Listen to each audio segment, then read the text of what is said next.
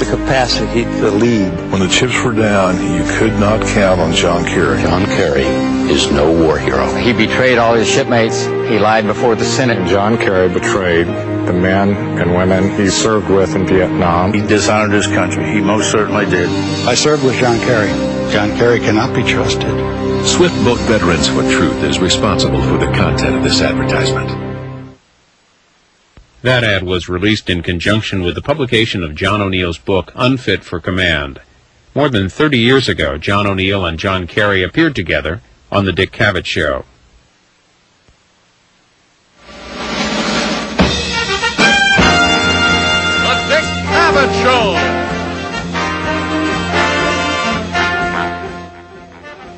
Tonight, Dick's guests are John Kerry from Vietnam Veterans Against the War.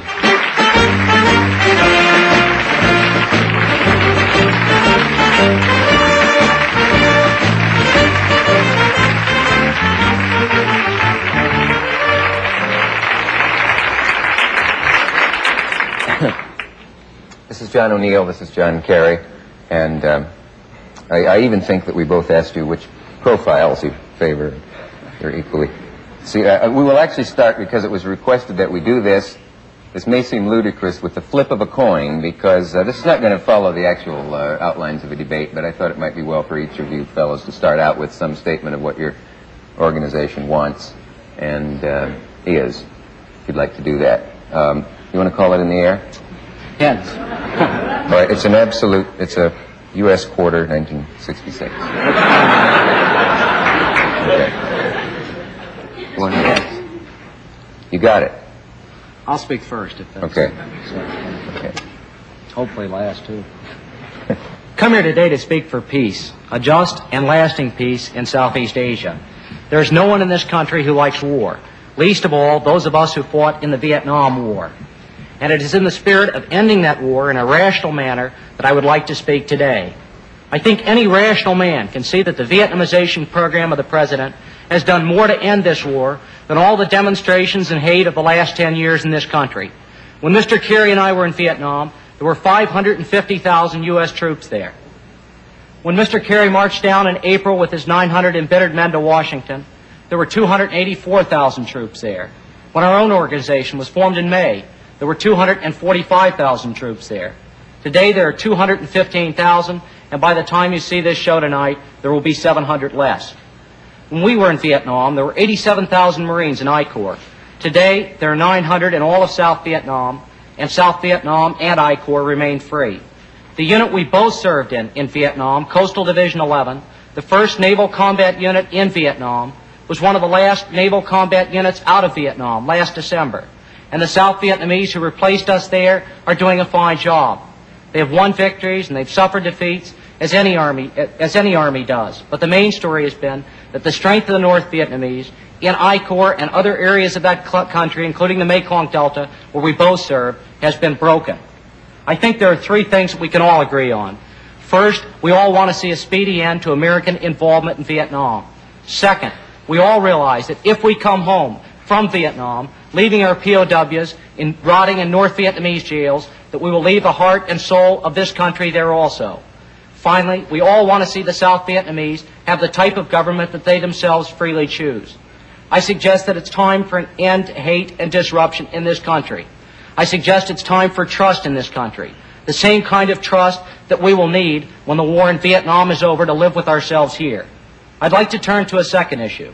Mr. Kerry is the type of person who lives and survives only on the war weariness and fears of the American people. This is the same little man who on nationwide television in April spoke of, quote, crimes committed on a day-to-day basis with the full awareness of officers at all levels of command, who was quoted in a prominent news magazine in May as saying, quote, war crimes in Vietnam are the rule and not the exception, unquote, who brought 50 veterans down to Washington to testify about alleged atrocities in April. The same 50 who, after they had appeared on every major news network, refused to provide any depositions or provide any details of any kind. Never in the course of human events have so many been libeled by so few. There were two and a half million of us who served there in Vietnam.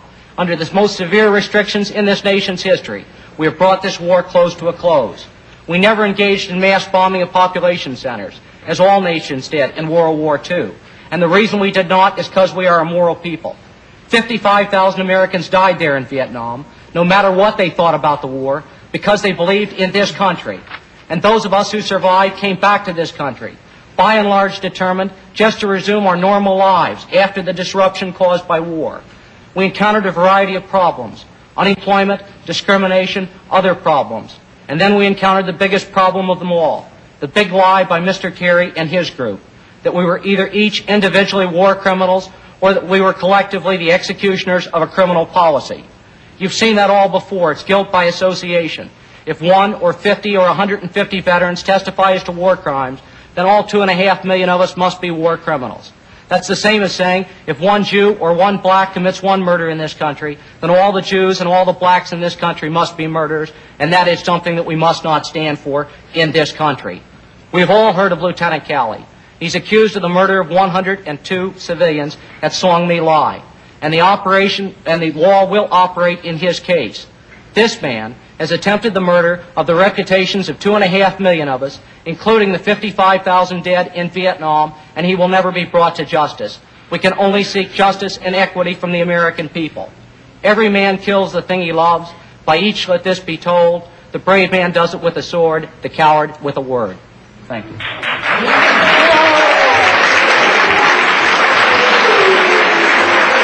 um,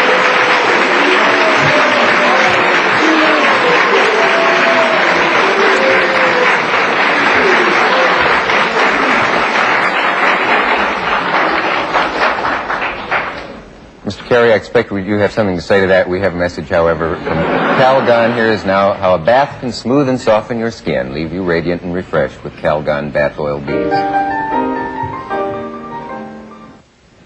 Uh, before that break, uh, and I must uh, apologize for the fact that we do have to keep stopping uh, commercial medium, and um, sometimes those things aren't going to mesh very well. Uh, now, uh, John Kerry. Wow. Well, there's so many things really to be said, and it's hard to find a place to start after a uh, barrage like that. I think, uh, first of all, I'm somewhat surprised at the attitude of uh, somebody who wore the same uniform as I did, who served in the same military for the same kind, I hope, uh, patriotic reasons. And I really haven't come back to this country, nor have uh, Vietnam veterans uh, against the war come back to this country to try in any sense or in any form to show bitterness or to tear the country apart or to tear it down. I think that that what we're doing is we're trying in a sense to to show where the country went wrong and we believe that as veterans who took part in this war we have nothing to gain by coming back here and talking about those things that have happened except to try and point the way to America to try and say here is where we went wrong and we've got to change and I think that the attitude of uh, the Vietnam veterans for a, for a just peace is really one sort of of my country, uh, right or wrong, which is really on the intellectual level, I think, of saying my mother, drunk or sober. And, and I think that, that just as when your mother is drunk, you take her and dry her out, God forbid that she is, you, you take your country, in the words of uh, Senator Carl Schurz, who said, my country, right or wrong, uh, when right, keep it right. When wrong, put it right. And I think that that's what we veterans are trying to do. On the question of Vietnamization, uh, this is something which people can argue about for hours and hours. Uh, we've just heard it mentioned that it's succeeding, that the Marines have been withdrawn from the North. Well, just the other day, Firebase Fuller was overrun, and it took the United States uh, to fly supplies in to take care of it. Uh, we hear that the Delta is pacified. Well, uh, a few weeks ago, the report came out that 54 naval bases and other bases, all the bases in the Delta had been overrun in the first three months of 1971, and that the reason they were overrun was because in 22 cases, sentries were asleep. In 22 cases, uh, there were quislings, people who gave up.